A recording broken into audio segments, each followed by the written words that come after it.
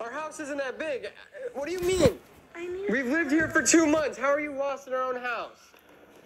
I just want to fuck you. Can't you tell that by now? Oh my fucking god. Shut up. I just need help. I'm not helping you with this. What the fuck is wrong with you? So, is that a no? Yeah, that's a no.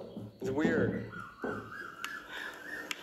Mm, but no one has to know. Fra- yeah, a